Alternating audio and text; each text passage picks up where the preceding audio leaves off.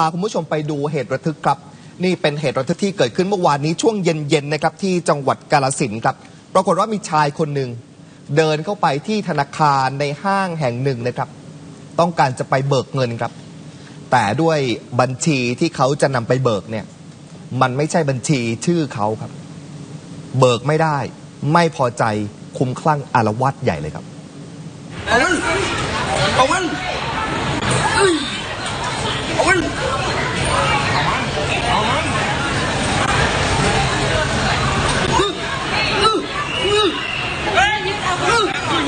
โอ้ยนั่นไงออกมาแล้วออกมาแล้ว จากคลุ้มคลั่งอารวาสแล้วก็กลายเป็นการปฏิบัติการแบบนี้โดยเจ้าหน้าที่ตำรวจครับ ต้องใช้ตำรวจจากสพเมืองกาลสินถึง 4 นายครับ เข้าไปควบคุมตัวชายวัยกลางคนคนนี้ บุกเข้าไปทำลายทรัพย์สินในธนาคารแห่งหนึ่งครับ อยู่ในห้างสรรพสินค้านะครับในพื้นที่อำเภอเมืองจังหวัดกาลสินแต่เจ้าหน้าที่จะเข้าไปมือเปล่าเนี่ยก็ไม่ได้ครับ เพราะว่าผู้ชายคนนี้อยู่ในอาการที่เรียกว่าคลุ้มคลั่งหนักอารวาสอย่างหนักครับ มีการคว้างปาสิ่งของนะครับ เก้าอี้คอมพิวเตอร์เนี่ยนะครับ เอามาคว้างปาใส่ตำรวจอยู่ตลอดเวลา ยิ่งตำรวจพยายามจะเข้าใกล้ เพื่อจะควบคุมและหยุดพฤติกรรมเขาให้ได้ แต่ชายคนนี้กลับยิ่งอารวาสหนักขึ้นครับ สุดท้ายเนี่ยตำรวจต้องล่าถอยออกมาก่อนครับ เพราะว่าชายคนนี้นะครับ เข้าไปภายในห้องนิรภัยของธนาคารค่ะและจังหวะนั้นเองนะครับ พนักงานเป็นผู้หญิงคนหนึ่ง ตอนแรกเนี่ยเขาติดอยู่ภายในเขาออกมาไม่ได้ ครับ จังหวะนี้เองก็ฉวยโอกาสวิ่งหนีออกมาได้ทัน เพราะว่าสถานการณ์ณขณะนั้น พนักงานก็ตกอกตกใจอืม แล้วก็แน่นอนละความปลอดภัยค่ะ นะฮะคุณผู้ชมครับเหตุการณ์ความวุ่นวายเนี่ยนะครับ ที่เราเห็นแล้วเล่าให้ฟังเนี่ยจริง ๆ แล้วช่วงเวลาสั้น ๆ ค่ะ แต่ว่ามันชุลมุนวุ่นวายมากทีเดียวครับ ช่วงเวลาประมาณสัก 5 นาทีได้ครับตำรวจพยายามที่จะหลอกล่อทุกวิถีทาง ให้ชายคนนี้ออกมาจากห้องนิรภัยครับ แล้วก็ใช้ไม้งามเนี่ยเกี่ยวตัวเขากดลงกับพื้นได้สำเร็จครับ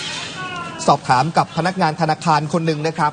ทราบว่าก่อนจะเกิดเหตุเนี่ยผู้ชายคนนี้เขาเข้ามาทำธุรกรรมที่ธนาคารตามปกติ จะมาเบิกเงินค่ะบอกว่าจะมาถอนเงินจากบัญชีของคุณแม่อืมแต่ชายคนนี้พูดจาวกไปวนมาครับ พูดจาไม่รู้เรื่อง แต่พอจะจับใจความได้ว่าอยากจะถอนเงิน 20,000ถึง30,000 บาทออกจากบัญชีนี้ แต่เป็นบัญชีแม่นะอืมเนื่องจากว่าเขาเนี่ยตอนนี้ร้อนเงินอย่างมากต้องการถอนเงินตำรวจบอกแต่แน่นอนครับ บัญชีมันไม่ใช่ชื่อเขาครับต่อให้เป็นของแม่เขาก็ตาม ธนาคารเนี่ยไม่สามารถทำให้ได้ฮะมันผิดระเบียบ ปรากฏว่าชายคนนี้ก็ไม่พอใจครับ ชักอาวุธมีดออกมา วางไว้บนหน้าตัก พนักงานก็เลยแจ้งตำรวจให้มาควบคุมสถานการณ์ เอาตัวไปสงบสติอารมณ์ที่โรงพักครับ แล้วก็ประสานกับทางญาติมารับตัวดำเนินคดีนะครับ ฐานทำลายทรัพย์สิน และพกพาอาวุธมีดไปในที่สาธารณะครับ โอ้โหไม่อยากจะคิดเลยนะครับว่าสมมติว่าถ้าอยู่ที่บ้าน ค่ะ แล้วอยากจะได้เงินได้ทองแบบเนี้ยจะทำอะไรกับคุณพ่อคุณแม่อืมเพราะเงินเนี่ยคุณพ่อแม่มี แต่ตัวเองไม่มีแต่อยากได้เงินนะ